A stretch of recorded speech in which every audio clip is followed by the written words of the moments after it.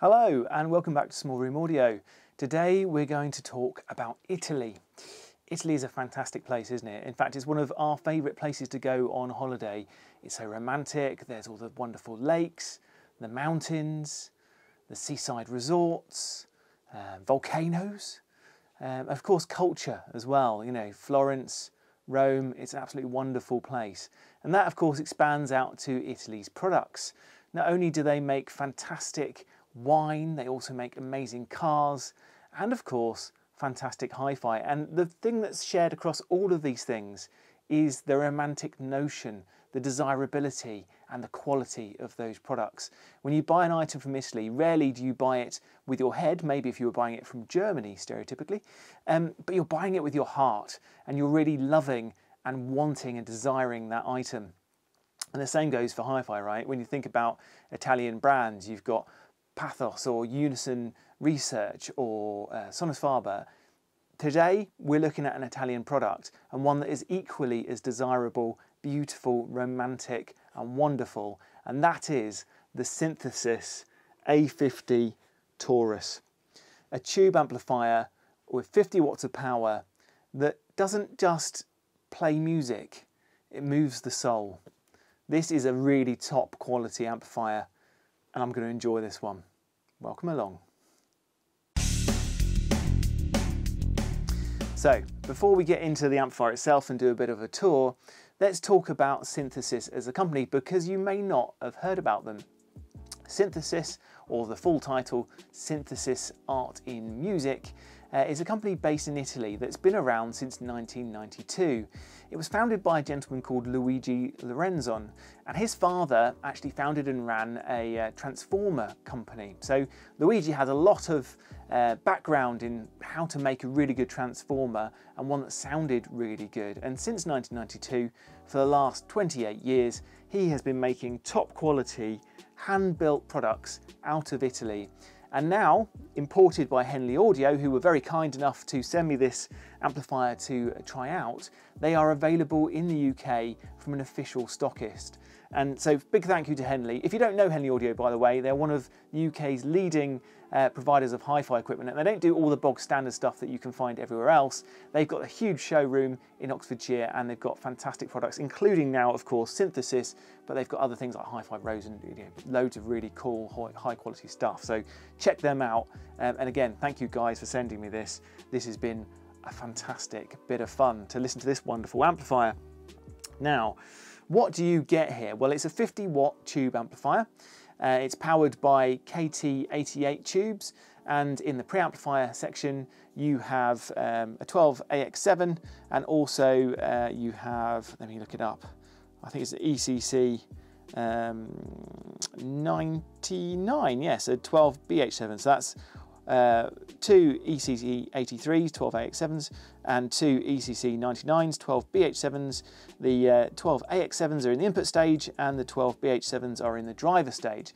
Now, they're quite commonly used um, tubes in the preamp stage, and that's because they sound really good in the preamp stage, and it creates a fantastic 3D effect, and we'll talk more about that later. And of course, KT88 tubes are also world renowned for being fantastic power tubes that are very dynamic and give you a level of level of refinement, but there's also quite a lot of kick and grunt.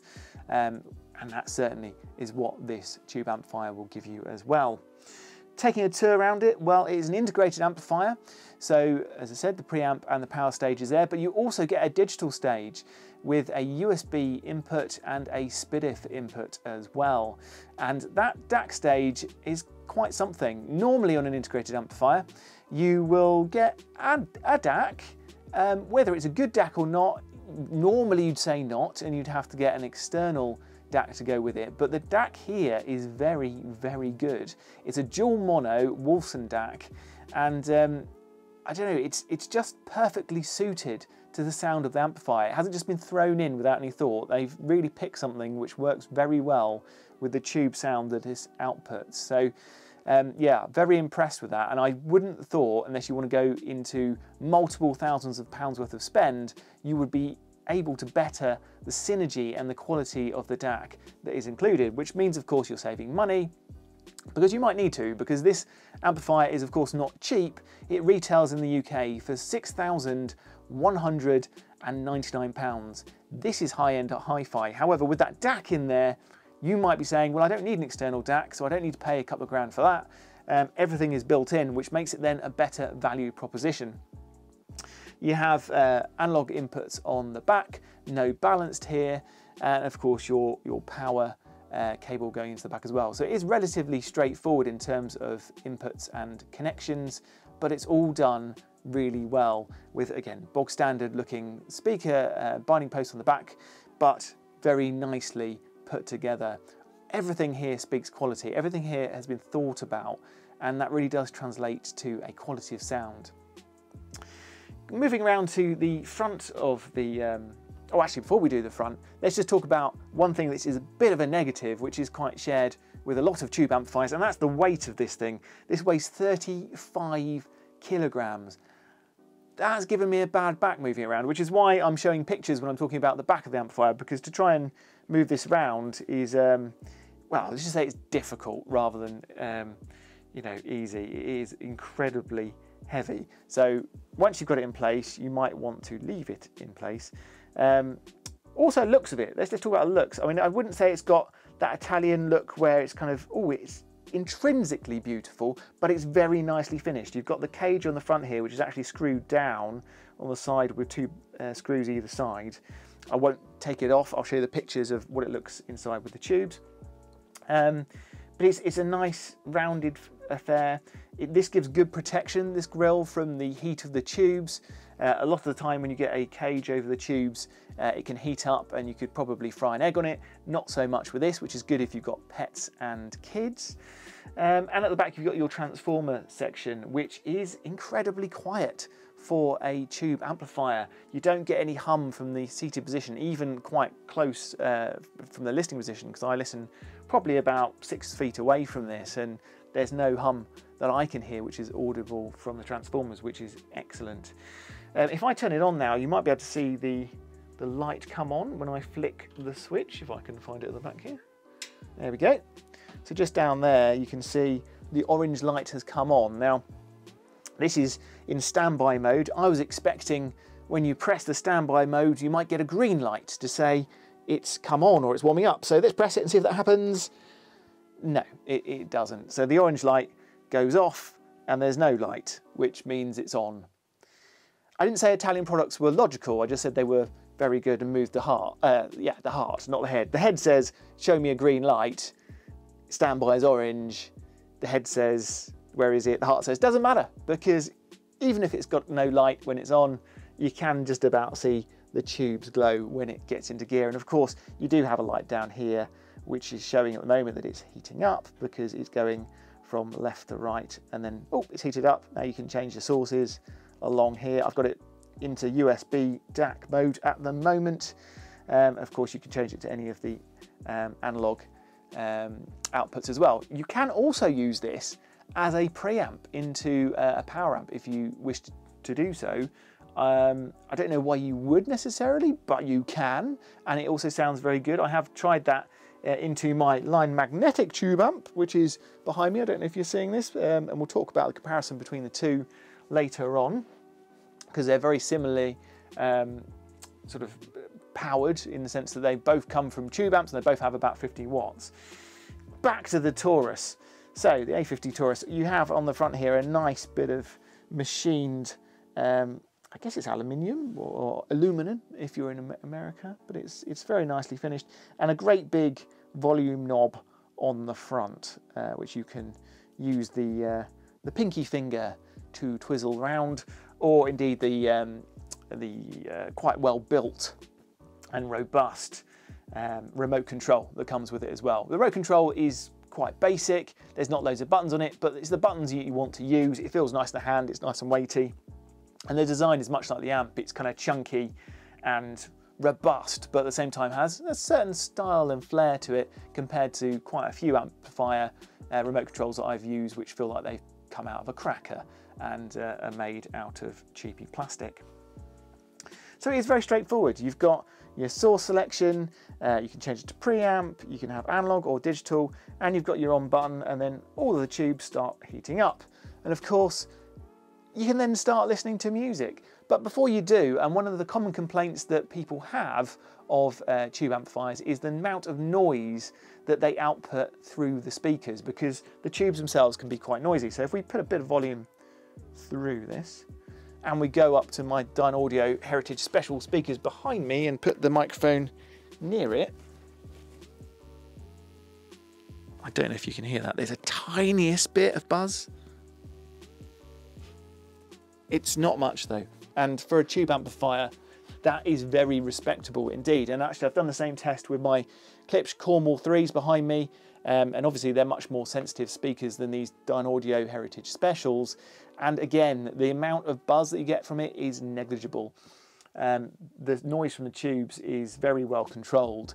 And actually the noise in general from this amplifier is very low. You can sense it has a very quiet noise floor, which again, just speaks to the quality of engineering and the thought that's gone into it, which is very high quality. And it's, you know, it should be, right? It's an expensive amplifier. This is not something you would go and buy from Best Buy or down Tesco's. This is something you buy knowing that you're going to get a quality, quality product. So what does it sound like? Let's get to the rub, okay? So I'm going to talk about the sound through the internal DAC and also the sound through um, my Terminator DAC, the Denafrips Terminator. From the internal DAC, things are definitely quite romantic, slightly beautified if you like. Now I like that. I, I, like it when sometimes the edges are rounded off just a little bit, but leaving enough grain and enough texture to really get under the skin of music and, and enjoy it. This, this does maybe you know, a little bit of Vaselining, you know, that kind of idea that when in the old days they used to do um, old, old, oldie worldy, oldie daisy sort of films and they put like a bit of Vaseline on the lens to give it that romantic effect. That's kind of what this does. Not loads, it's just a smidge and it does lean, again, a smidge warm, but there's plenty of body. There's lots of um, kind of sinew and blood and kind of meatiness to this. This is a full fat steak. This isn't uh, a sort of Weight Watchers lean and nasty burger. Do you know what I mean? You can really get your teeth stuck into the sound that this outputs. But it's by no means rolled off. You certainly get high highs through this dual mono, mono Wolfson DAC and you get low lows. You don't get thumping bass to the point where it's going to rumble your room, but it's very satisfying for what is there. But the most impressive thing here with the dual mono Wolfson DAC and the synthesis uh, tubes all working in, in harmony and unison is the soundstage. Oh my goodness me. This is the best, deepest, most 3D soundstage I have ever had in this room in small room audio. I've had some really high-end DACs, I've had some really high-end equipment from, you know, amplifiers through to, well, just just this is the best. This is the best I've heard. It's just so 3D. Uh, it's quite an experience. It's almost like you've set up a full 5.1 surround sound system, but it's not. It's just the same speakers that I'm using, which are very good speakers, by the way, Dynaudio uh, Heritage Specials. We will do a review of those because they are stonking as well. But, you know, coming back to this, this is phenomenal for soundstage. You pick things up in layers, from front to back, probably at least three or four separate layers in front of you. Things go all the way around to the sides of your head. They kind of feel like they're slightly above you and behind you. And this is in a small listening room, which isn't particularly good for that sort of setup. But it, this does it, this creates it, and it is so addictive. Is so, so addictive. And yeah, I was, I fell in love with that. I loved it. It was just so addicting. It really was. Now, Equally, the soundstage is very, very good through the Denafrips Terminator because that is a DAC known to produce a huge atmospheric sound. But what you get through the Terminator, which of course is a much more expensive standalone DAC, is a thumping bass. It is astounding, almost too much actually for a small room for me, particularly through the Klipsch Cornwall 3 speakers. It was thumping and, as I say, kind of almost like reverberant in my room because it was so big and bold. And I think maybe a word of warning, if you're going to use a DAC which really tips up the bass like the, the um, Denafrips does, it really digs deep, make sure you've got enough bass trapping in your room to just kind of control it and, and work it out. Or, you know, perhaps speakers that don't go um, all the way down. You've just got to control your different um, elements of sound as you as you roll through it. Oh, hello. If you come to look at the, this as well, you won't burn yourself on this Shumi. Uh, we'll try not to. It's not quite as hot as the one next to it will be. Right, so if it's not abundantly obvious already, you might have figured out I really, really like the Synthesis A50 Taurus. So much so that I'd say it is vying for position as my favourite ever tube integrated amplifier. My favourite is to my left here, and that is the Line Magnetic 508IA. Now, until I'd heard the Taurus, I hadn't felt there was anything that could touch this for dynamics and just overall texture and emotive power at the same time. Um, but I've got to say, the Taurus, it takes the line magnetic for soundstage by a mile. It really does. It also takes it because it has an inbuilt DAC. The 508IA does not have one. Neither has an inbuilt uh, phono stage either, so it's probably worth mentioning that. But the 508IA, again, it's not really a fair fight because I've replaced all the tubes here.